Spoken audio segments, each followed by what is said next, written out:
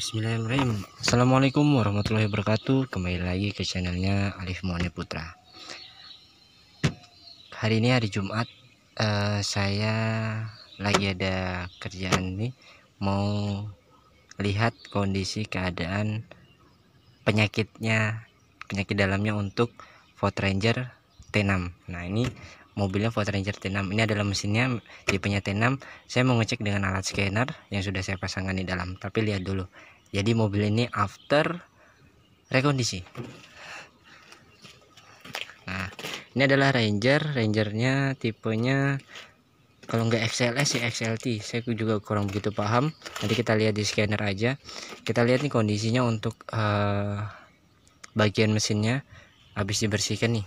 Bagian mesinnya habis di detailing atau dibersihkan di salon jadi seperti ini. Jadi mobil ini tuh udah memakai Ford Ranger ini udah memakai ABS ini ada ABS nya tuh dan ada juga uh, water separator atau pemisah airnya juga sudah disediain.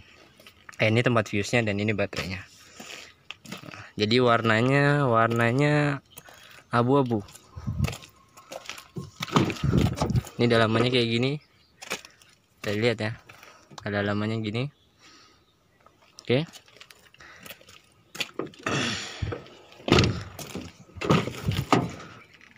ini adalah Ranger. Velgnya udah berubah pakai tuh velgnya tuh. Kita lihat sendiri bannya juga udah besar. Ini Ford Ranger. Kita review dulu sebentar untuk bagian mesinnya. Bagian mesinnya bisa dilihat sendiri untuk air radiatornya untuk e, minyak remnya dan koplingnya. Karena koplingnya ini kalau ini master koplingnya itu nempel di dalam ya. Di dalamnya e, dekat kampas kopling. Jadi kalau jebol master kopling bawa jebol berarti ya nurunkan transmisi oke? Okay? nah oke okay, kita lanjut ke bagian dalam. Yang kita mau scanner apa aja? Mau di scan mau cek pakai komputer. Nah oke. Okay. ini alatnya udah udah mancap nih di sini. Udah mancap coba kita hidupin. On kita hidupin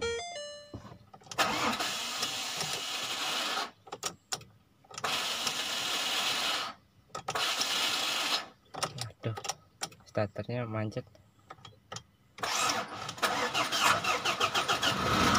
nah, hidup ya. Jadi starternya agak sedikit ini.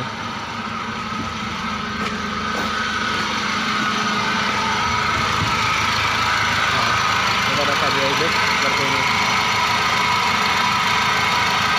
jadi tadi ada sedikit uh, masalah mungkin di starternya kurang sip. Oke kita lanjut untuk tahap scannernya kita masuk ke scanner oke? Tonton terus videonya. Nah, oke kita lanjut ke tahapan untuk kita men-scanner uh, mobil ini atau melihat tuh ada full code full code apa atau kesalahan-kesalahan apa yang ada dalam mobil ini. Oke kita masuknya Ford ini sudah ada ini yang di domestik kita masuk Ford kita konfirmasi. Jangan lupa ya kunci kontak mobil ini harus on ini kita masuknya di otomatis aja. Nih lihat tuh set ignition to on posisi 2 oke? Ini posisi 2 karena posisi 3 adalah starter kita masuk kita nunggu loadingnya.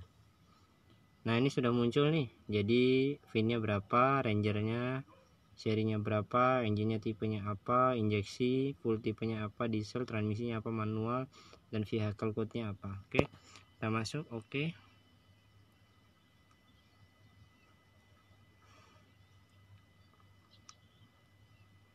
Yang terrecord tadi itu adalah yang terrecord di ECU ya. Misalnya kalau ECU eh, e nya pergantian masih pakai ECU yang lama mungkin uh, nomor sasis dan segala macam engine bakal terikot yang lama. Kalau yang baru ya harus mungkin pemindahan ulang lagi atau perkawinan ulang lagi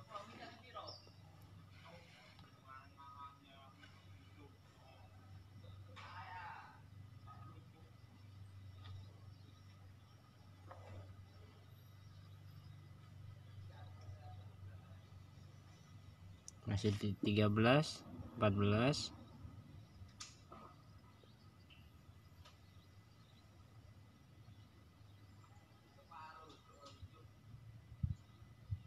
nah oke. Okay. ini udah masuk nih ke bagiannya health report jadi health report ini uh, mendeteksi atau apa ya istilahnya? Kita tahu nih berapa kontrol unit yang ada dalam mobil ini dan dalam kondisi apa itu melalui health report. Oke yang pertama kita baca ini ABS nya full code nya ada 5 tuh yang startnya. BCM nya ada 5 full code nya IPC atau instrumen panel kontrol modul ada 7 PCM nya ada 7 RCM nya ini adalah eh, SRS airbag retrain control modul itu ada satu. Oke kita baca fault reportnya penuh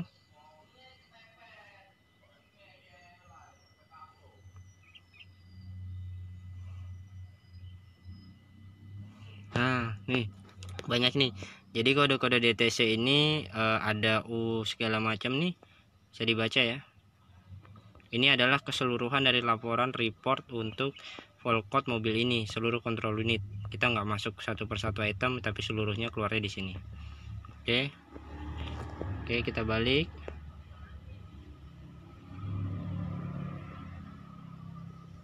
Kita balik coba kita masuk ke ABS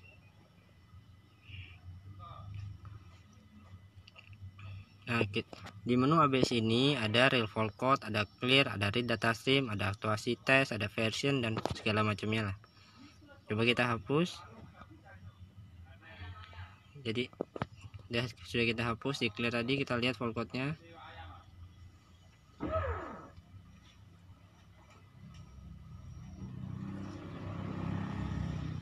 Nih, masih ada. Berarti harus diganti ya.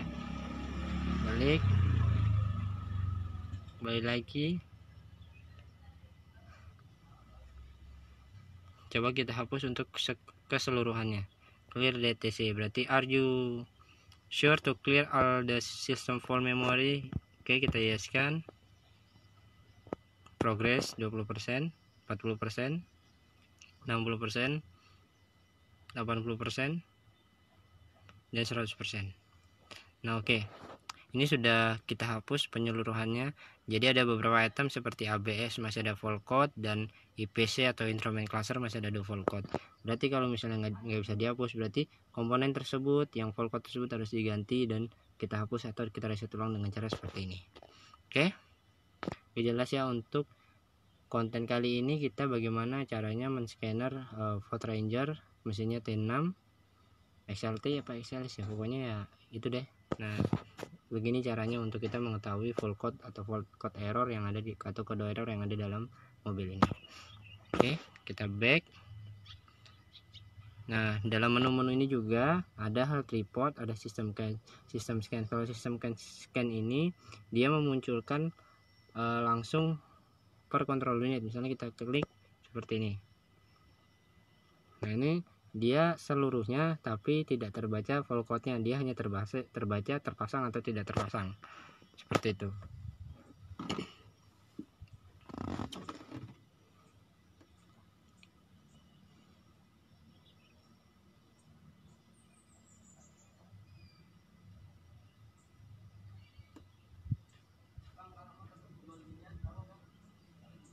Nah, seperti ini equipment equipment nantinya terpasang. Oke, kita balik lagi. Nah, kalau sistem selection, sistem selection ini dia per uh, control unit. Jadi kita masuknya ABS apa-apa. Tapi kita nggak tahu bahwa mobil ini kontrol unit tersebut terpasang atau tidak. Kalau kalau mau kita lewat tadi, lewat yang tadi, lewat yang sistem scan. Itu. Kalau special function biasanya ini untuk uh, special function untuk aktuasi dan segala macamnya. Kalau modul programming biasanya programming untuk modul-modul baru yang habis diganti itu kita programming ulang Vehicle informasi ini berisi tentang nah ini tentang nomor sasis, kendaraan, kapasitasnya berapa, engine tipenya apa, fuel, fuel tipenya apa, transmisinya tipenya apa, dan vehicle code-nya tipenya bagaimana. Oke, oke jelas ya. Jadi kita back lagi. Nah, dalam dalam menu yang kita back sebelumnya itu nanti ada manual reset untuk service dan segala macamnya. Kita balik, kita keluar. Oke. Oke. Kita lanjut lagi untuk yang lainnya. Nah, oke, okay. uh, eh, tadi barusan saya kasih lihat bagaimana cara untuk mencekan atau mereset ulang uh, mobil Ranger. Kali ini Ranger XLT apa XLS ya? Saya nggak begitu paham. Uh, begitu caranya ya. Jadi kita riset dengan menggunakan alat diagnosis yang sudah terpasang di sini. OBD-nya adalah OBD 2. Tadi sudah kita bagaimana kita cara tahu berapa kontrol yang ada dalam mobil ini, bagaimana cara meresetnya, dan bagaimana melihat kesalahannya sudah saya jelaskan barusan. Oke. Oke, okay, uh, sekian dulu informasi yang bisa saya berikan soal bagaimana cara kita tahu mobil ini code errornya apa dan bagaimana juga cara menghapusnya.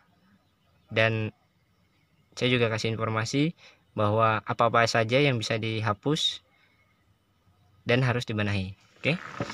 nah, oke okay, sekian dulu uh, informasi yang bisa saya berikan. Salam dari Balikpapan Kota Beriman. Jika ada salah-salah kata dalam penyampaiannya mohon dimaafkan. Dan jika kalian suka dengan konten dan video ini jangan lupa like, komen, dan subscribe-nya Oke, Assalamualaikum warahmatullahi wabarakatuh. Mantap.